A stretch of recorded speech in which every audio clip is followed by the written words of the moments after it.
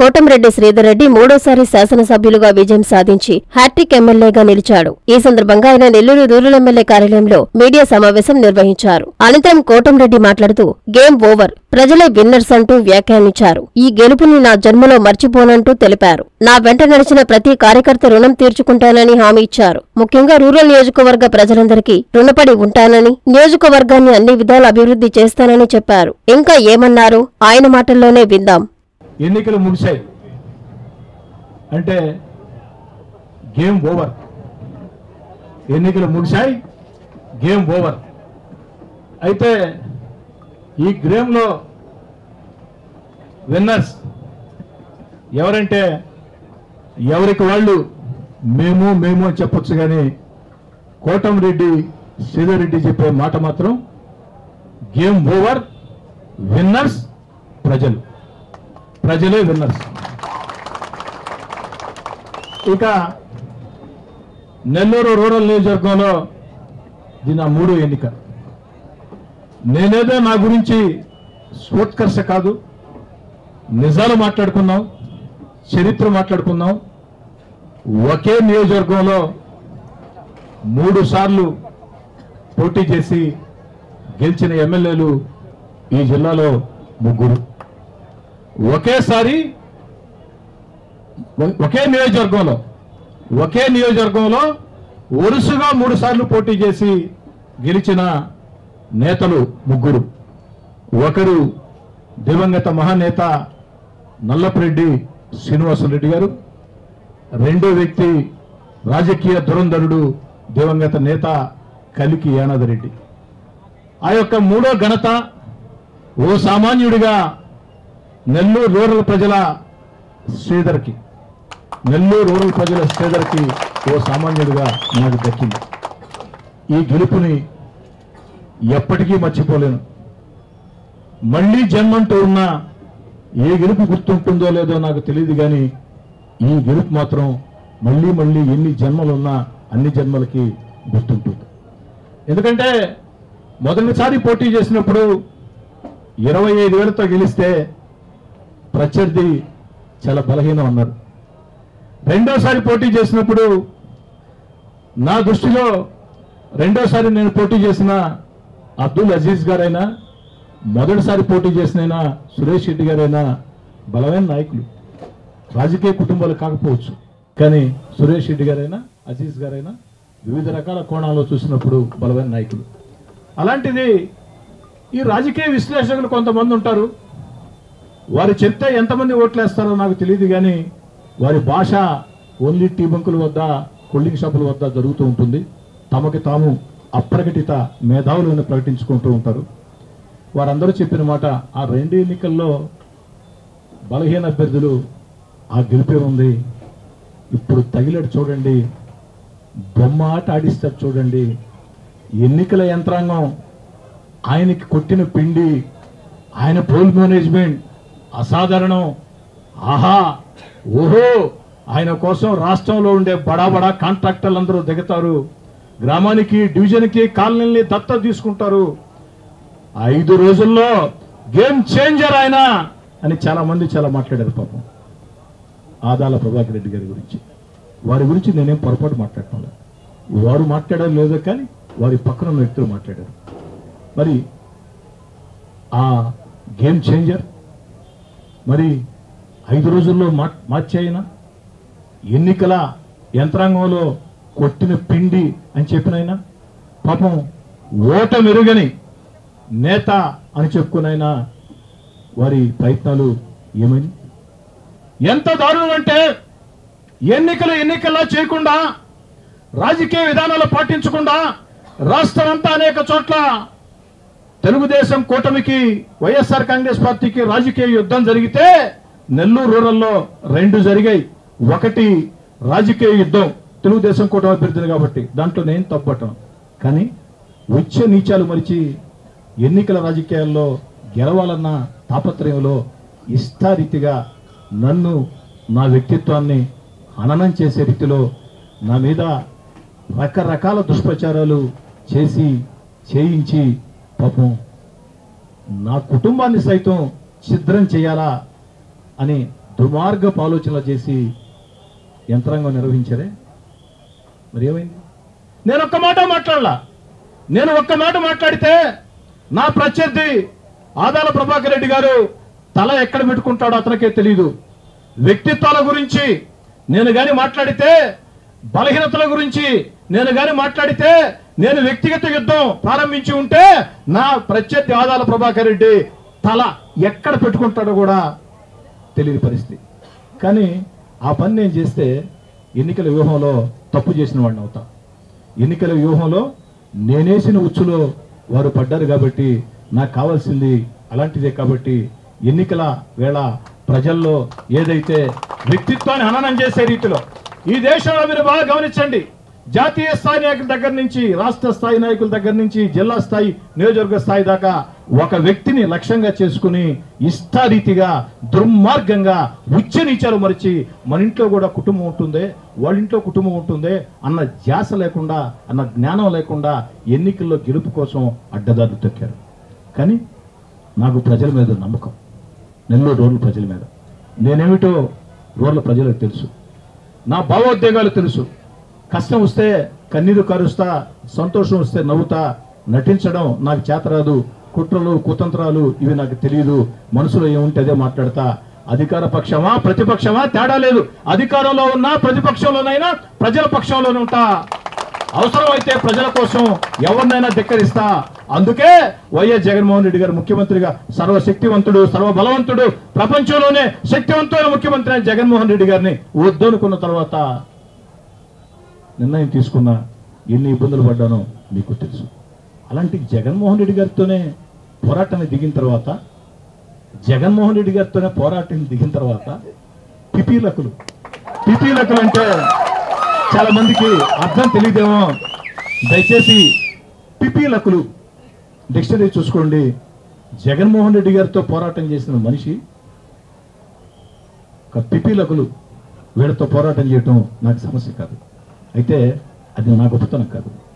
నాకు నమ్మకం ప్రజల మీద. ప్రజల అండ ఉంటే ప్రజల ఆశీస్సులు ఉంటే ప్రజాదరణ ఉంటే డబ్బు కొండలైనా బంగారు కొండలైనా వజ్రాల కొండలైనా తలతో కొడితే పగిలిపోతాయి. మళ్ళీ చెప్తున్నా ప్రజల అండ ఉంటే ప్రజల ఆశీస్సులు ఉంటే డబ్బు కొండలైనా వజ్రాల కొండలైనా బంగారు కొండలైనా తలతో కొడితే పగిలిపోతాయి. పాపం దానికోసం సోషల్ మీడియా మీద మూడు కోట్ల రూపాయలు ఖర్చు. ఖర్చు ఎందుకు పెట్టాడో తెలియదు కానీ ఇచ్చిన లెక్క మాత్రం మూడు కోట్ల రూపాయలు. ఇప్పుడు లెక్కలు దాల్చమని అడుగుతున్నారంట. కాబట్టి ఇది ఒక అపూర్వ విజయం. నాకు నా కోసం కష్టం చేసినటువంటి తెలుగుదేశం పార్టీ నాయకులు కార్యకర్తలు నాది వారిది అతి తక్కువ ప్రయాణం. నాది వారిది అతి తక్కువ ప్రయాణమైనా? నన్ను నమ్మి వైఎస్ఆర్ కాంగ్రెస్ పార్టీలో నుంచే చాలా మంది వచ్చిన ఎక్కడికక్కడ క్షేత్రస్థాయిలో నాతో పాటు వచ్చిన వ్యక్తులు తెలుగుదేశం పార్టీ నాకంటే ముందు నాకంటే ముందు ఇరవై ఏళ్ళుగా పాతికేళ్ళుగా పదేళ్ళుగా ఐదేళ్ళుగా ఆరేళ్ళుగా మూడేళ్ళుగా నాకంటే ముందు తెలుగుదేశం పార్టీ జెండా పట్టుకుని పనిచేసినటువంటి నాయకులు కార్యకర్తలు. నన్ను నమ్మి వచ్చినటువంటి నాయకులు కార్యకర్తలు పాలు నీళ్ళలాగా క్షేత్రస్థాయిలో కలిసి పనిచేశారు. ఇదే సగం బలం నాకని చెప్పని కూడా ఇక మిత్రపక్షాలు బీజేపీ కార్యకర్తలు నాకు వివిధ రాజకీయ పార్టీ కార్యకర్తలు సన్నిహిత సంబంధాలు ఉంటాయి. అందులో బీజేపీ కార్యకర్తలతో ఎక్కువ సంబంధాలు ఉంటాయి. విద్యార్థి నాయకుడిగా ఉన్నప్పటి నుంచి. అందుకే రెండు ఎన్నికల్లో నా కోసం పనిచేసే అవకాశం రాలేదు. ఈ ఎన్నికల్లో మిత్ర ధర్మంలో భాగంగా అవకాశం వచ్చింది. సాప కింద నీరులా సోషల్ మీడియాలో ఫోటోలు లేకుండా పేపర్లో ఫోటోలు లేకుండా క్షేత్రస్థాయిలో బృందాలుగా ఏర్పడి వారు చేసిన ఇంటింటి ప్రచారం వారు చేసిన ఇంటింటి ప్రచారం అద్భుతంగా లభించింది. ఇక జనసేన కార్యకర్తలు జన సైనికులు నేను అందరికీ చెప్పా మనం వాస్తవాలు ఒప్పుకొని తీరాలా? ఒక్క జన సైనికుడు పది మంది రాజకీయ పార్టీ కార్యకర్తలకు సమానం. ఒక్క పవన్ కళ్యాణ్ అభిమాని పది మంది రాజకీయ కార్యకర్తలకి సమానం. ఆ జన సైనికులను అడిగా ఈ విధంగా వేల కోట్ల కోటీశ్వరుడు అంటయ్యా నా మీద దిగాడంట కోట్లు కుమ్మరి ఇచ్చేస్తారంట గేమ్ చేంజ్ చేసేస్తారంట ఐదు రోజుల్లో మార్చేస్తారంటని. జన సైనికులు మేము ఉండమన్నా ఆయన సంగతి మేము చూసుకుంటామని చెప్పని వచ్చి నాకు చేసినటువంటి సహాయం. ఇదే కాకుండా కమ్యూనిస్టు పార్టీల అభిమానులు. ఎందుకంటే కమ్యూనిస్ట్ పార్టీలో పనిచేసే కార్యకర్తలు వాళ్ళు పోటీ చేసి ఉన్నారు కాబట్టి వారు చేసుకుంటారు. కానీ సగటు కమ్యూనిస్ట్ పార్టీ అభిమాని సిపిఎం సిపిఐ రాడికల్సా తేడా లేకుండా వామపక్ష భావాలుండే సగటు అభిమానులు ఒక్కటి ఆలోచన చేశారు కోటమిరెడ్డి సీతారెడ్డి మనవాడు ప్రజల మనిషి కోటమిరెడ్డి సీతారెడ్డి పిలిస్తే పలికే ఎమ్మెల్యే ఇలా twenty four into seven three sixty five days నెల్లూరులో ఉండే ఎమ్మెల్యే ఫోన్ చేస్తే ఫోన్ ఎత్తే ఎమ్మెల్యే. ఈరోజు వేల కోట్ల కోటీశ్వరుడు వచ్చి గేమ్ చేంజ్ చేస్తానంటే ఏందిరా దొర ఏందిరా నీ పాలన ఏందిరా దొర ఏందిరా నీ పొగురేందిరా అనే రీతిలో స్పందించి ఆనాటి దొరల మీద తెలంగాణ సాయుధ పోరాటాన్ని గుర్తుకు చేసుకుని నిశ్శబ్ద విప్లవం. వామపక్ష భావజాలాల వ్యక్తులు నిశ్శబ్ద కొన్ని పేర్లు చెప్పటం ధర్మం కాదు కానీ పేర్లు చెప్పను. కొన్ని స్వచ్ఛంద సేవా సంఘాలు. సేవాభావం ధార్మిక భావం కలిగిన సంస్థలు. హిందువులా ముస్లింలా క్రైస్తవులా తేడా లేకుండా. ఎందుకంటే ఏదైతే ఆనాడు నేను శాసనసభ్యుడిగా హైందవ దైవ కార్యక్రమాల్లో క్రిస్టియన్ కార్యక్రమాల్లో ముస్లింల కార్యక్రమాల్లో చిత్తశుద్ధితో నిజాయితీగా నిలబడ్డాను కాబట్టి ఆ సమాజాల కులాలకు అతీతంగా మతాలకు అతీతంగా హక్కులు తెచ్చుకున్నాయి. పాపం ఒక ఐదారు మంది ఉంటారు. ఐదారు మంది నెల్లూరులో మగుంట్ల ఓట్లు ఉంటారు పాపం. ఈ ఐదారు మంది మొత్తం మాగుంట్ల ఓటుకి నేనే ప్రతినిధి అని చెప్తారు. మాగుంట్ల ఓటుని తిప్పేస్తా ఉంటారు చీల్చేస్తూ ఉంటారు పొడిచేస్తూ ఉంటారు. పాపం ఈసారి కోటమిరెడ్డి సదరిని ఓడించాలని ఐదారు మంది పాపం తిప్పేసే మాగుంట్లో ఒకటి అన్నారు మాగుంట్లో ఇట్లా ఉదయాన్నే పోలింగ్ బూతులు కాడ ఎప్పుడూ లేనట్టు ఆరు గంటలకే వస్తే చూసారమ్మ ప్రతిభ. ఆరు గంటలకి తీసుకొచ్చాం పోలింగ్ బూత్ కాడికి. పొడి శాస్త్రులు కోటారెడ్డి సంగారెడ్డి అన్నారు. కానీ వచ్చిన ఓటర్లు మాత్రం ఆ కులమా ఈ కులమా తేడా లేకుండా సగటు ఓటర్లు. సగటు ఓటర్లు ఆ కులమా ఈ కులమా తేడా లేకుండా మతమా తేడా లేకుండా ఏకపక్షంగా కోటారెడ్డి రెడ్డికి అండగా నిలబడ్డారు. పొడిశారు ఎవరిని పొడిశారు రాజకీయంగా? పొడవాల్సిన వాళ్ళు పొడిశారు దీంతో ఆ మాగుంటలు పేరు చెప్పుకుని ఐదారు మంది రకరకాల రాజకీయ నాయకుల దగ్గరికి పోయి లబ్ధి పొందే వ్యక్తులకి గుణపాఠం జరిగింది. ఎందుకంటే పోయినసారి అజీజ్ గారి మీద నేను పోటీ చేస్తే మాగుంట్ల ఓట్లో నాకు వచ్చింది యాభై రెండు ఓట్ల మెజార్టీ. అంతకుముందు సురేష్ రెడ్డి గారి మీద పోటీ చేస్తే డెబ్బై ఏడు ఓట్ల మెజార్టీ. ఇప్పుడు వచ్చింది ఎంతంటే చాలా తక్కువ ఐదు వందల పన్నెండు ఓట్ల మెజార్టీ. ఐదు వందల పన్నెండు ఓట్ల మెజార్టీ. ఇది అందుకే నేను చెప్పేదా ఎవరు గేమ్ చేంజర్లు కాదు. ప్రజలే గేమ్ చేంజర్లు. ఈ క్రెడిట్ ప్రజలకు పోద్ది నాకు రాదు మరొకరికి రాదు. ప్రజలు అన్ని చూస్తూ ఉంటారు. ఇదుల్లోకి రాకపోవచ్చు మాట్లాడకపోవచ్చు కుటుంబాలతో కాపురం చేసుకోవచ్చు. టీవీల్లో ఎవరేం మాట్లాడుతున్నారా పత్రికల్లో ఎవరేం మాట్లాడుతున్నారా రోడ్డు మీద పోతుంటే నాయకుల ప్రవర్తన ఏ విధంగా ఉంటుందా కార్లో పోతుంటే ఏ విధంగా ఉంటుందా పెళ్ళిళ్ళు కర్మంత్రాలు వస్తే ఏ విధంగా ఉంటుందా అన్ని చూస్తూ ఉంటారు. చూసిన రోజు నిర్ణయం తీసుకున్నారు. అందుకే నెల్లూరు రూరల్ ప్రజలంతా ఒకవైపు అలా వంద మంది ఒకవైపు. రూరల్ ప్రజలంతా ఒకవైపు పార్టీలకి కులాలకి మతాలకి అతీతం. ముఖ్యంగా వైఎస్ఆర్ కాంగ్రెస్ పార్టీలో ఈ కూడా కీలకంగా పనిచేస్తున్నటువంటి రూరల్ నియోజకవర్గంలో ఉండే అందరూ నేను చెప్పను కానీ కొంతమంది ముఖ్య నాయకులు నాకు సహాయం చేశారు. వారు యాక్చువల్గా బహిరంగంగా పార్టీలోకి వస్తామని చెప్పారు. కానీ వారిని చేర్చుకోవటం అనేది అక్కడికే నాకు అప్పటికే బలమైన నాయకత్వం ఆ ప్రాంతాల్లో ఉంది. వీరిద్దరి మధ్యన కోఆర్డినేషన్ కుదరదని వారిని ఒక సహకారం అడిగాను. మీరు నాకేమీ చేయాల్సిన అవసరం లేదు. మీరు మీ పార్టీ అభ్యర్థి కోసం గట్టిగా పనిచేయండి. అవసరమైతే బూతులు కూడా నా మీద కూడా దాడికి రండి. నేనేం అనుకోను. మామూలు మీద దాడికి రండి. మేమేం అనుకోము. అక్కడ మార్కులు సంపాదించుకోండి. కానీ ఒక్కటి మాత్రం మీరు నాకు సాయం చేయాలంటే చెప్పను అన్నారు కొంతమంది. ఏమిటంటే ఒక ముఖ్యమైన విషయం ఉంది. ఆ ముఖ్యమైన విషయంలో అవతల ప్రత్యర్థి ఓ మాట మీకు చెప్తాడు. నేను ఓ మాట చెప్తా. ఈ రెండిట్లో ఆయన మాట పాటిస్తే మీరు నాకు చేసినట్టు కాదు. నా మాట పాటిస్తే నాకు చేసినట్టన్నా. పాపం నికరంగా ఓ ఏడు మంది ముఖ్య నేతలు మాత్రం మాట కట్టుబడ్డారు మాట నిలబడ్డారు.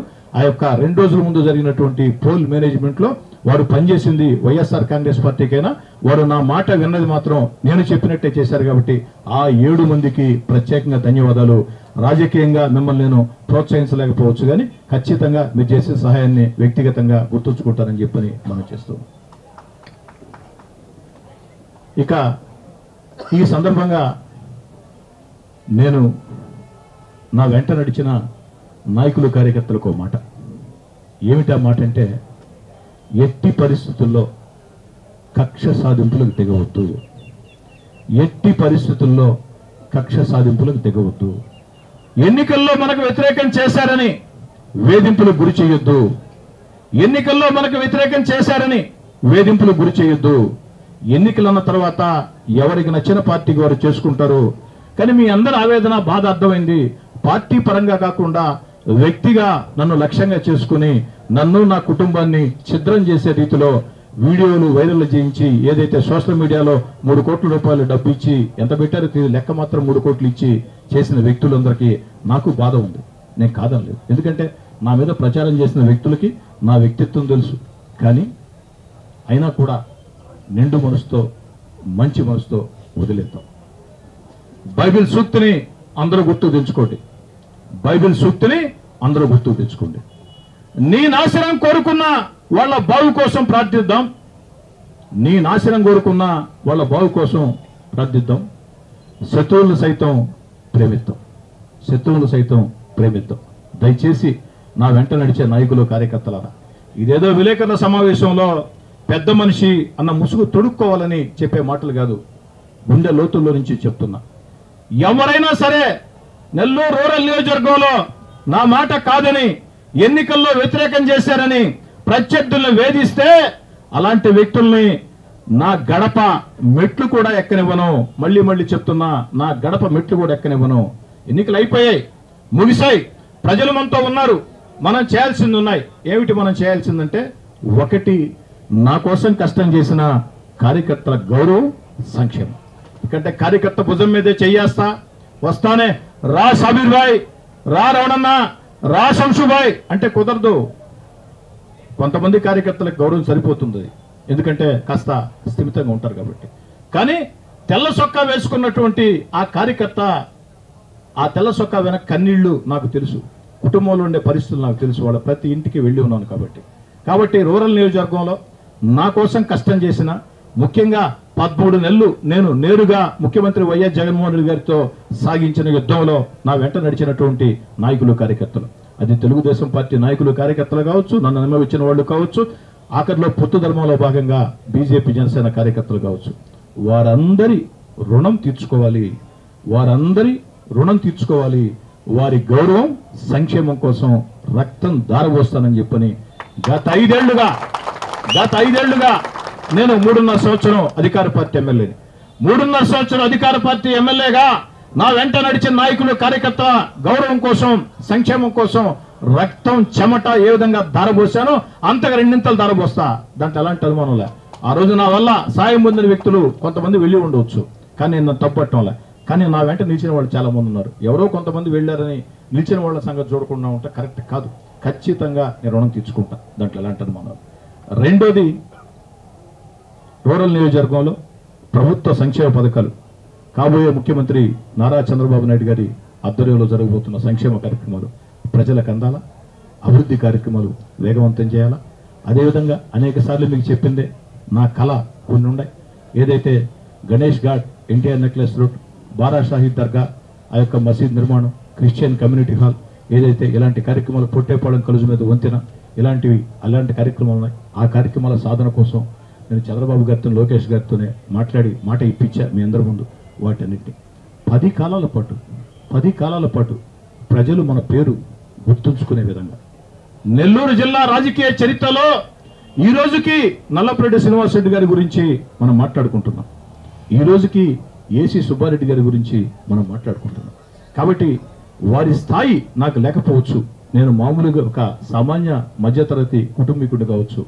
కానీ హై స్కూల్లో విద్యార్థిగా రాజకీయాలు ప్రారంభించి మీ అందరి సహాయ సహకారాలతో జీవిత ప్రయాణంలో ఎంతోమంది ఎంతోమంది సహాయ సహకారాలతో ఈ స్థాయికి వచ్చాం. కాబట్టి ఆ యొక్క ప్రజల గుండెల్లో పది కాలాల పాటు నెరవేరే విధంగా ఉండే విధంగా. ఎమ్మెల్యే అంటే ఎలా ఉండాలంటే ఎమ్మెల్యే అంటే కోటమిరెడ్డి సీదారెడ్డిలా ఉండాలా అని చెప్పే విధంగా ముందుకు సాగుతాం.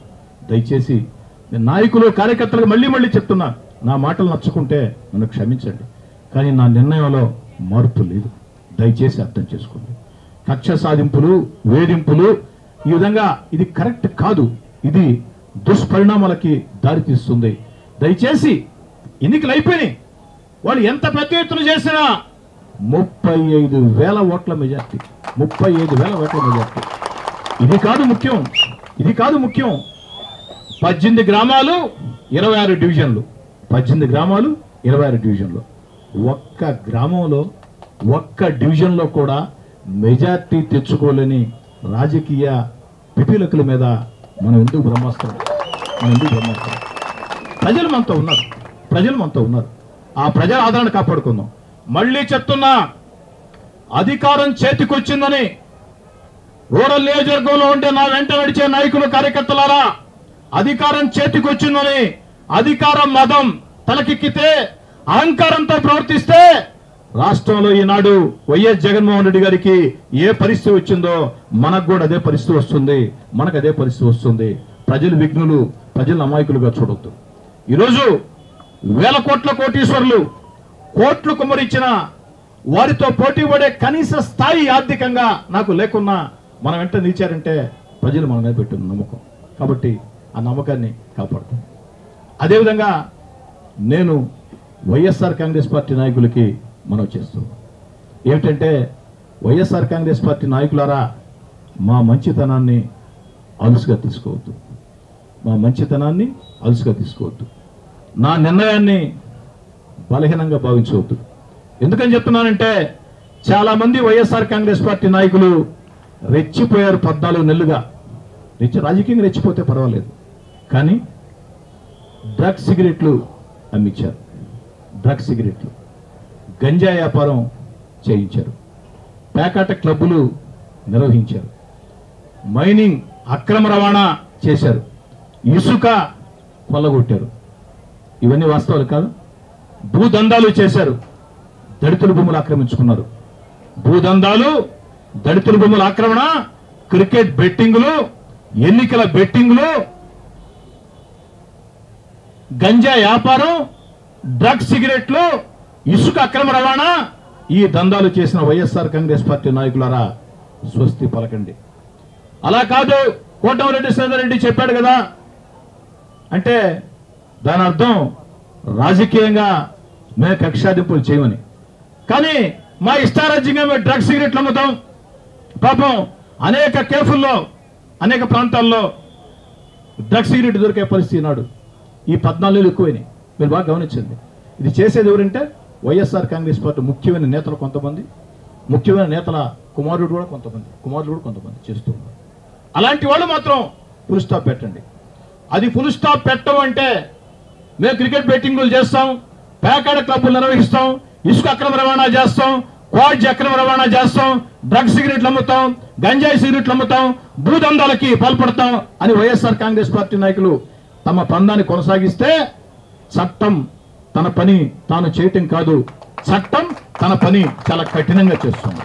చట్టం దాని పని చాలా కఠినంగా చేస్తుంది. ఒక్క చట్టమే కాదు. మీరు చట్ట వ్యతిరేక కార్యకలాపాలకు పాల్పడకుండా పద్ధతిగా మీరుంటే మీ జోలికి ఎవరు రారు.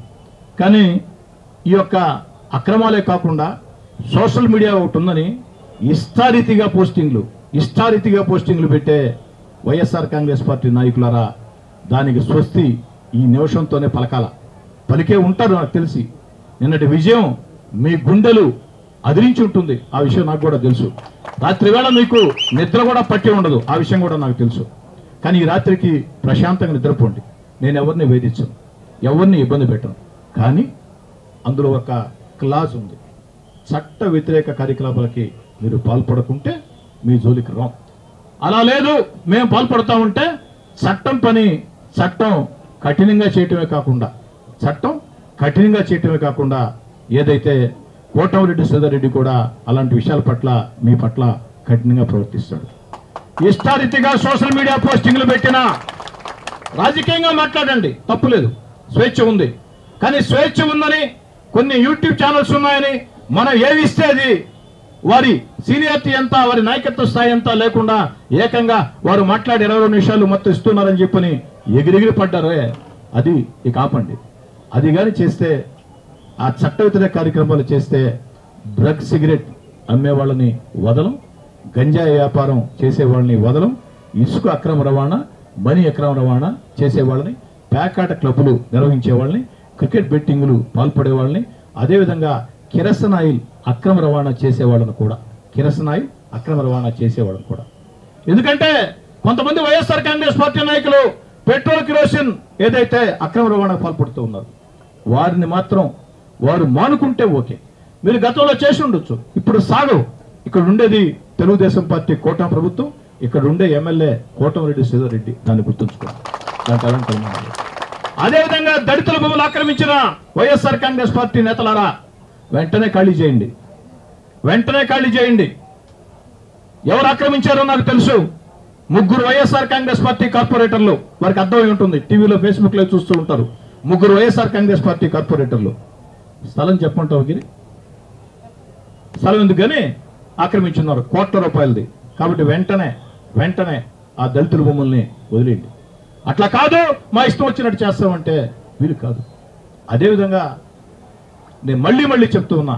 కక్ష సాధింపులు వేధింపులు వెంటాడటం నెల్లూరు రూరల్ ఎమ్మెల్యే కార్యాలయం నుంచి జరగవు. ఒకవేళ నా వాళ్ళు ఎవరైనా చేసినా నా గడప మెట్లు కూడా ఎక్కనివ్వను. ఎవరైనా నా వాళ్ళు చేస్తే వేధింపులకు గురైన వాళ్ళు నేరుగా నాకు ఫోన్ చేయొచ్చు. తప్పలేదు. ఒకటి రెండు సార్లు ఫోన్ చేస్తే మీకు అర్థం అవుతుంది ఏ విధంగా నేను స్పందిస్తాను ఇది ఇంత దూరం నేను చెప్పిన తర్వాత మా వాళ్ళు ఎవరు నా మాట జవ దాడతారని చెప్పని నేను చెప్పను కానీ వాళ్ళు జవ దాటినా కూడా నాకు నేరుగా చెప్తే నేను కఠినంగా తీసుకుంటా. అయితే ఎంతవరకు ఇది? మీరు పద్ధతిగా ఉన్నంతవరకే పద్ధతిగా ఉన్నాం. మా అక్రమాలు మేము చేస్తాం. మా చట్టం వ్యతిరేకాలు మేము చేస్తాం. మిమ్మల్ని ఎవరు ఏం చేస్తాం అనుకుంటే ఎవరు మిమ్మల్ని కాపాడలేరు. దాంట్లో ఎలా అంటారు? ఎవరో కాపాడలేరు. ఎవరో కాపాడలేరు. వార్షిక బ్రహ్మోత్సవ ఆహ్వానము నెల్లూరు జిల్లా బుచ్చిరెడ్డిపాలెం మండలం జొన్నవాడ క్షేత్రంలో వెలసి ఉన్న శ్రీ మల్లికార్జున స్వామి కామాక్షితాయి దేవస్థానం వార్షిక బ్రహ్మోత్సవ ఆహ్వానం. రెండు వేల ఇరవై నాలుగు మే ఇరవై ఎనిమిదో తేదీ నుంచి జూన్ ఏడో తేదీ వరకు బ్రహ్మోత్సవాలు జరుగును. ఈ నెల ఇరవై ఎనిమిదో తేదీ రాత్రి ఎనిమిది గంటలకు అంకురార్పణ. జూన్ మూడవ తేదీ రాత్రి పదకొండు గంటలకు రావణ సేవా ఉత్సవము. నాలుగవ తేదీ రాత్రి ఎనిమిది గంటలకు వెండి నంది సేవా ఉత్సవము. ఐదవ తేదీ ఉదయం ఎనిమిది గంటల గంటల ముప్పై నిమిషాలకు రథోత్సవము. ఆరవ తేదీ ఉదయం పది గంటలకు కళ్యాణోత్సవము. రాత్రి ఏడు గంటలకు తెప్పోత్సవము అత్యంత వైభవంగా జరుగును. కావున భక్తులెల్లరూ విచ్చేసి స్వామి అమ్మవార్లను దర్శించి కృపా కటాక్షాలకు పాత్రులు కాగలరని కోరుచున్నాము. ఇట్లు విరుపవార్జుల గిరికృష్ణ సహాయ కమిషనర్ మరియు కార్యనిర్వహణాధికారి.